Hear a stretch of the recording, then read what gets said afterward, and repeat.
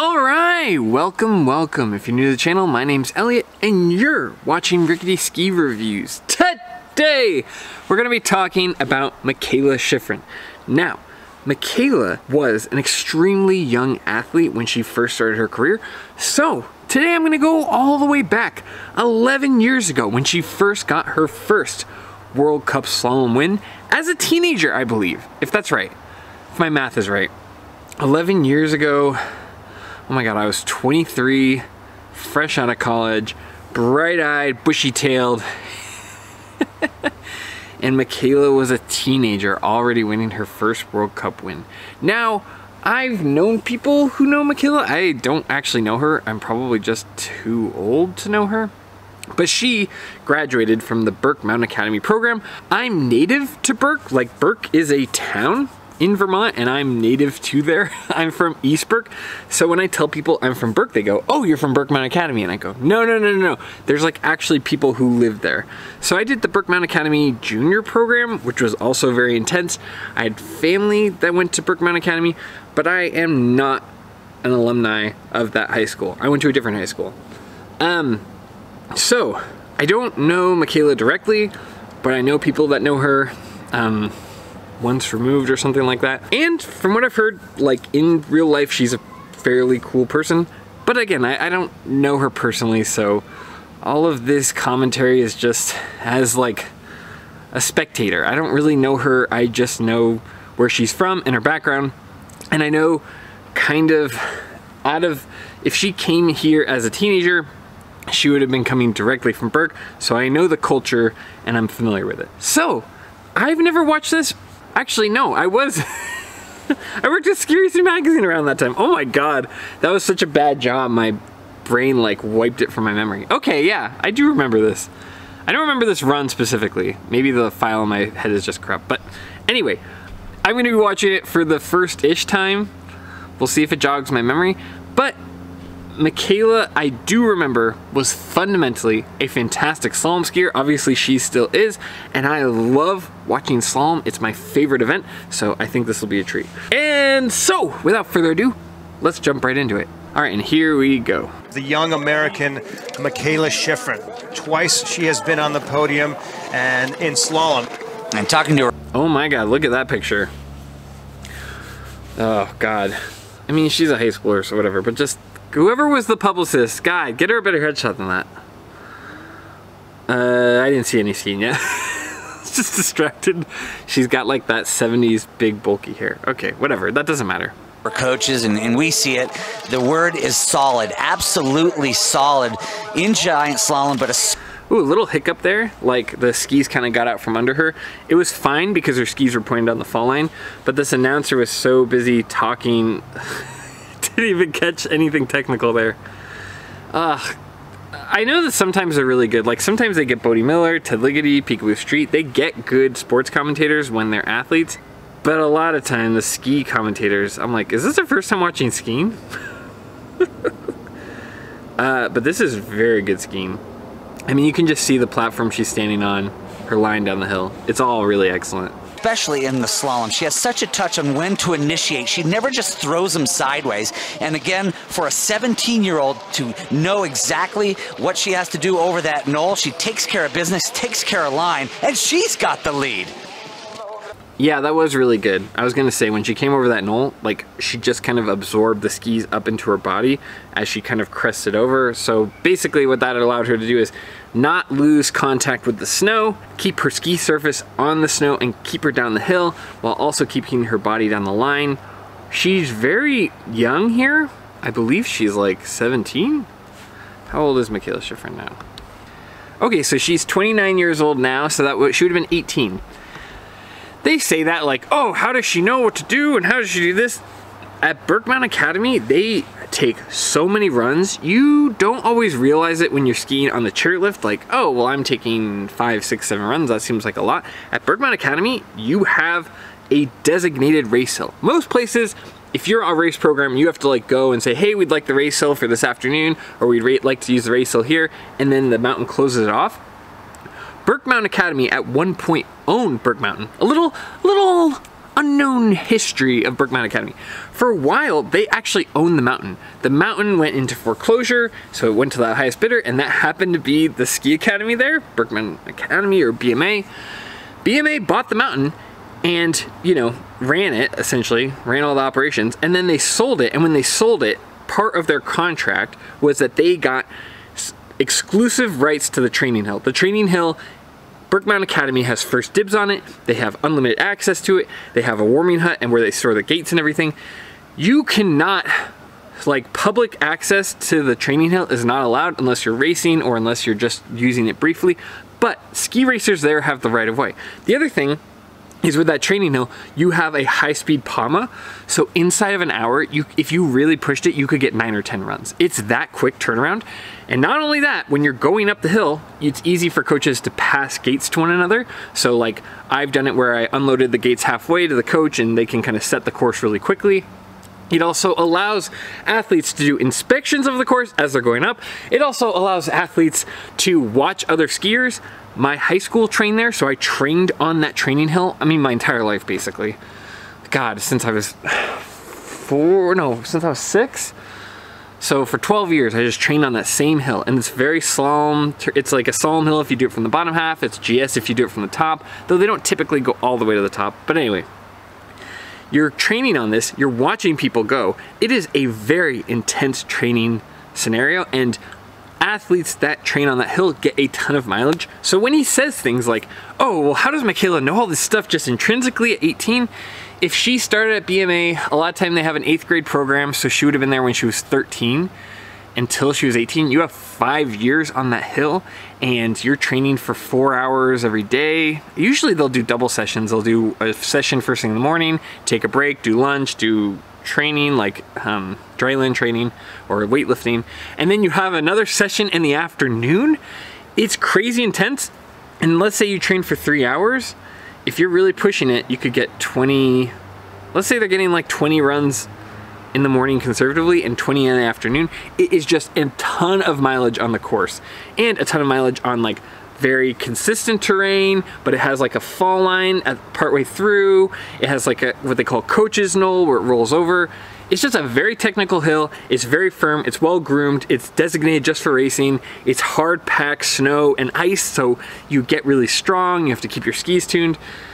When people say stuff like this, I'm like, okay, you're not aware of kind of this ski culture that exists in northern Vermont where you just get a ton of reps. It's part of why the Cochrans are really good. They only have a tiny hill, but it has a rope tow and they get a lot, bunch of laps. It's not only good because it's northern Vermont, so the season is longer and the access to snow is better, but it's also just a culture centered purely around racing and kind of the general public is secondary, at least on that hill. Like the general public has the chairlift and other parts of the mountain. But you get a ton of mileage, a ton of experience, and if you were familiar with that, you would know that. Not anything against the guy commentating. I mean, that's a subset. But for you at home, if you're interested in that, if you're interested in ski racing culture and Vermont ski culture, that's where it comes from. That's how I got burnt out so quick as a kid. I only made it to like 12 and I was like, this is too much, man. you know, you got like adults giving you coaching on video. It's like, all right. I'm just gonna go snowboard in the woods for a while. But anyway, that's just me making something that's not about me about me. Let's go back to the video. I love watching Mikaela ski. Her fundamentals are great. Her slalom is great. Her timing is perfect. And um, her race IQ is high. Like she knows when to kind of take in her knees. She knows when to set up her line and when she really needs to pin it. And it takes a very smart racer. That's one thing I don't hear talked about a lot. I think race tactics wise, Mikaela might be the smartest racer I've seen. Um, Bode was also very high. He's just like very aggressive with his line, so he'd take risks other people weren't, and he was able to kind of identify those things. Mikaela is really disciplined in like, I don't need that speed there, but I need the speed at this lower part of the hill, so I'm gonna set up for it. All right, let's keep going. Bib number 10 with the lead. Mikaela Shiffrin, she's won some World Cup slalom runs in her life. Not a first run, though. She just keeps it going, and you know what she does well is she's she everything. looks at a race, everything. She looks at a race, and it's just a. God, if I wait for this guy to finish his sentence, the slalom race is gonna be done. You know what she does really good? When you see her kind of look conservative, she's like keeping her tempo, keeping her rhythm, having herself set up. And then when you see her just like snap like this and it's instant, that's her saying, I need speed in this part of the course and I'm just gonna take it. Her being more conservative and flowy, that's her saying like, okay, I need to set up my line. I need to be in the right spot of the hill. And her just going like boom, boom, boom, boom, boom. You see it, you saw it like there just a second ago. That's her saying, I need speed in that exact part of the course.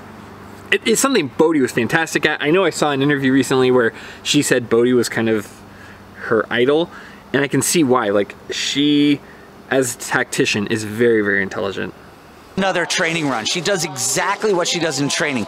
She's solid, she knows the course, she thinks about the course, not what happens after. She doesn't think about results, she thinks Oh my god, this guy has not stopped yapping since her like second turn. Okay. You see exactly what she did there too, where she was coming across the hill more. That was like a specific choice where she's not getting a ton of speed coming that far across, but she's gonna set up and then look, look at this course. It ends with a hairpin.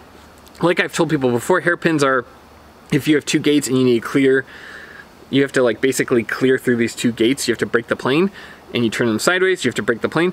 A lot of times coaches or the course setters or the race referee, whoever, they like to set little technical things before the end because it makes it very dramatic because if you crash right before the end, oh, they could have won it. It's, I don't know.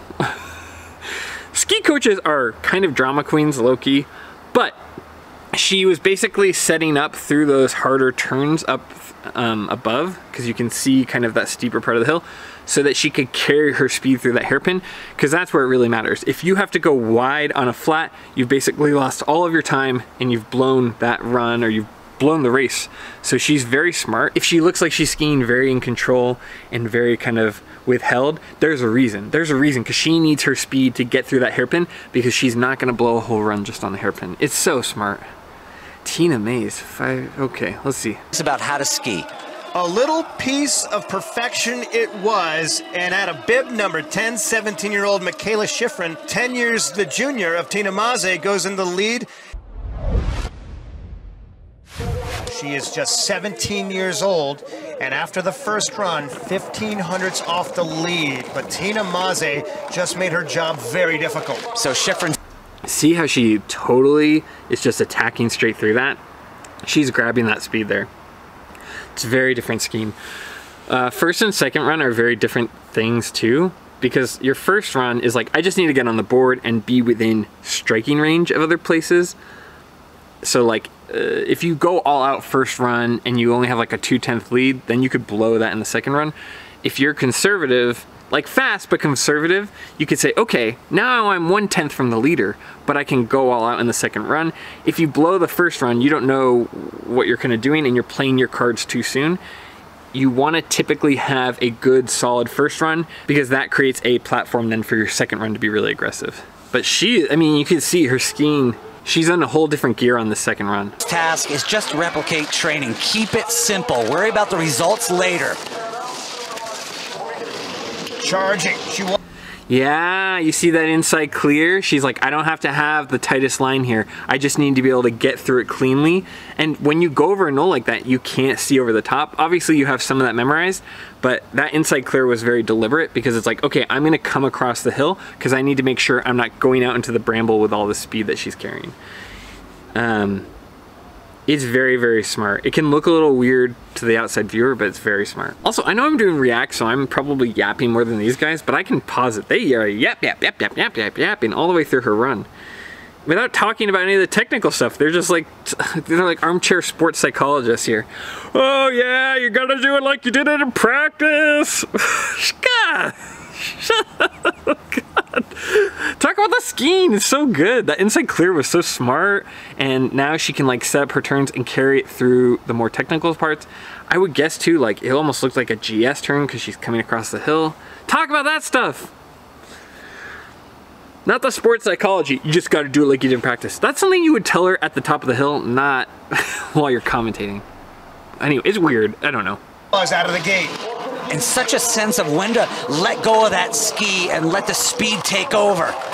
Finding time. Upper body.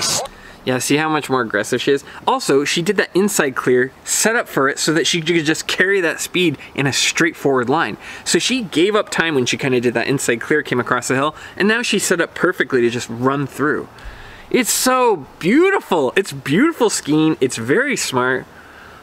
It's high IQ stuff. God, I gotta watch these videos on mute almost because the commentators are driving me nuts, but okay. Stoic, in control, but look at the action. Look at the energy in that lower body. Ski Ooh, that was a sweet move. Did you see that? Where she like came across the hill of speed right after I unpaused it, and then she just like stepped down on that foot and set herself in a different direction down the fall line. Ooh! Ooh! That was beautiful. Chef's kiss. Oh my god. That takes a lot of strength. That takes a lot of reps. That takes a lot of skiing on ice eh, because they definitely keep these ski hills firm. Ooh, I like that. That was a nice turn.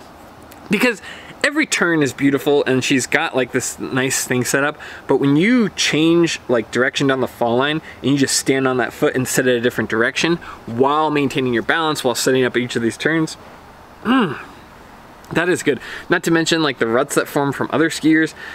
She kind of took her own line there. Uh, that was cool. out in the second run yesterday in the giant slalom. Doesn't seem to be bothering here today. A little bit low there, but building. Mikaela Shiffrin. Okay, can I just say, one thing I don't like about the like angle of looking up the hill is that I can't see what gate she's setting up for. Because that's a lot of the beauty of how Mikaela skis. Her fundamentals and everything else are stellar, but man, I really like the way she sets things up.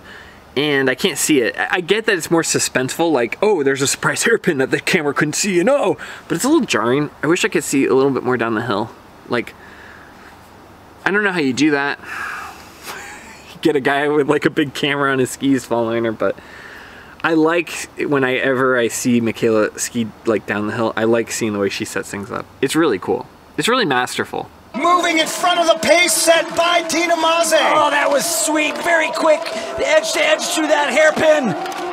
And Shiffrin has got Oh, it. Good man. Lord. Yeah, and see what I was talking about with that. Now they have a flush where they've got two sets of hairpins on top of each other. Um, that was beautiful though. She set it up, didn't just kind of wiggled her way through the finish there. That was a beautiful, beautiful line, beautiful skiing. Fundamentals were great, and, and it's crazy to think about how she can set her direction with just like a little maneuver like that. Very strong skiing. Also, I'm I'm not gonna lie, I did not know that's how you said Tina Maze. I thought it was Tina Maze. My bad. I'm just a dumb American. I don't know how to say things. God. okay. Look at the lead.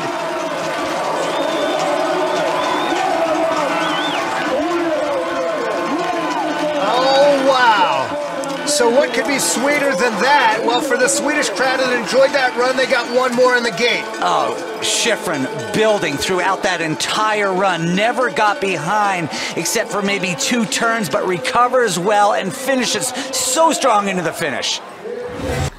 I mean, I think a lot of the turns she got behind on it was important to do for the line. I didn't see anything where she like let the course get out from under her, let her skis getting onto the tails. Uh, also, that inside clear that they did slow-mo on, oh my god, I loved it. It was such a smooth move because then she set up for the pole plant and just dialed it in. I love it. Love it! It is a rock fight. Mikaela Shiffrin looking for her first victory. So is Hansdotter, who gets it. Shiffrin! Mikaela Shiffrin, age 17, youngest American ever to win a World Cup. Yeah, it's you. Disbelief on Shiffrin's face. And a couple newcomers to the top. Uh, Hans Hansdotter skiing looked beautiful as well. Very different style, very European style. Um, and you could tell like she looked a little desperate. I don't know if there was a hiccup that they didn't show at the top. She wasn't far behind Mikaela, but you could see like those moves at the end were kind of desperation. Any speed I can scrape together. Wow, this was cool.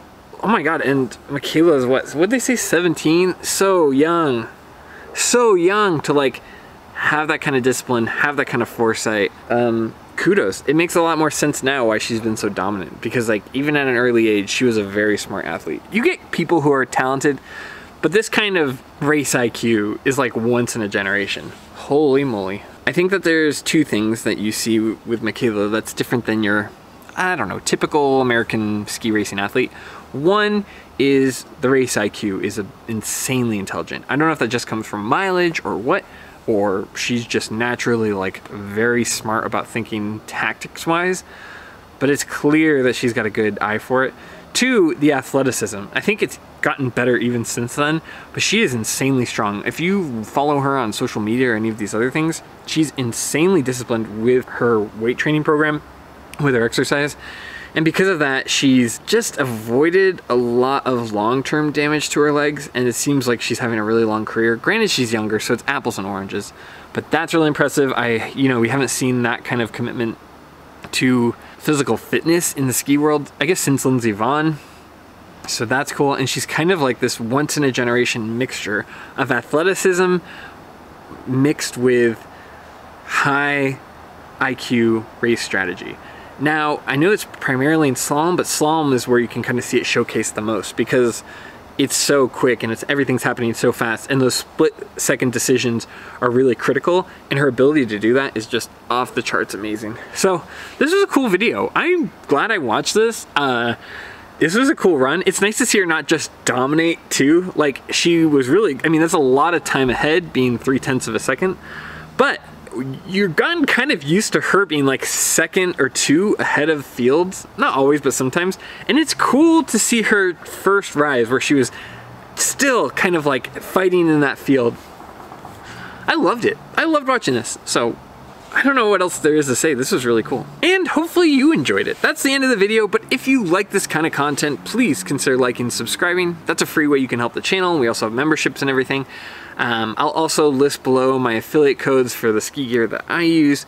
But, you know, that stuff doesn't really matter. Just thank you for being here. Thanks for taking the time. I hope you enjoyed this kind of content. I know it's a little bit different, but something I enjoyed and something I wanted to share with you. So, as always, thanks for being here. Thanks for watching.